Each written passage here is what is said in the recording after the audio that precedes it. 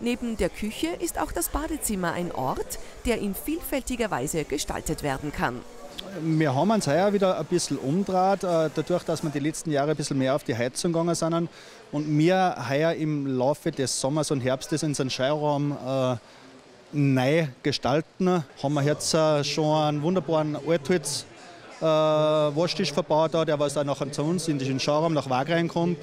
Äh, Badlösungen ist die letzten Jahre ein sehr großes Thema geworden, äh, vor allem auch die ganze Abwicklung in äh, GU-Bauweise, wo wir uns um die ganzen Professionisten kümmern, diese Sachen auch auspreisen und baulich begleiten. Dieses rundum sorglos Paket ist natürlich ein wesentlicher Vorteil für einen Endkunden, weil natürlich auch viele Leute sehr positionieren wollen, die was nicht von der Baubranche kommen und mit denen natürlich nichts zu tun haben und die wollen einen, professionellen Ansprechpartner, der sich einfach um alles kümmert und sie haben mit denen nichts zu tun und der Bauzeitplan wird eingehalten.